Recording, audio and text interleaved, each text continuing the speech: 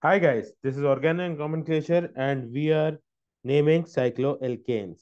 So the name cycloalkane implies that these are alkanes but in a cyclic ring structure. So they've got a general formula of CnH2n. Now this general formula is the same formula that is uh, used for alkenes.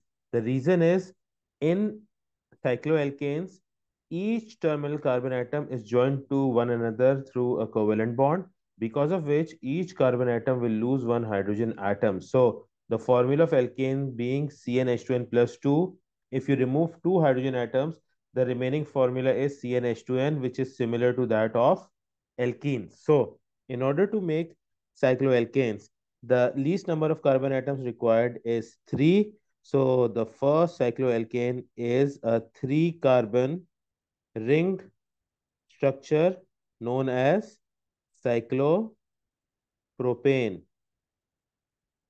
Now in this structure, each carbon atom is bonded by two hydrogen atoms. So the molecular formula of cyclopropane is C3 and H6. The next compound in the cycloalkane homologous series contains four carbon atoms and each carbon atom will be bonded to two hydrogen atoms. So the compound would be CH2, CH2, CH2, CH2 and a bond here completes the ring forming a compound with the molecular formula C4H8 and the name of this compound is cyclobutane.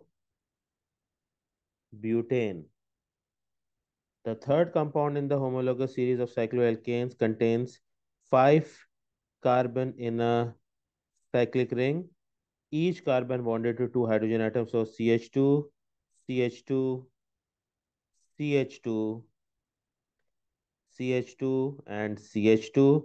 This forms a compound with the molecular formula C5H10 having a name of cyclopentane. The next compound in the cycloalkane homologous series consists of six carbon atoms attached to two hydrogen atoms each in a cyclic ring forming a six-membered carbon ring and the name of which is cyclohexane. The molecular formula of this compound is C6 H12 as can be seen from the drawn structure.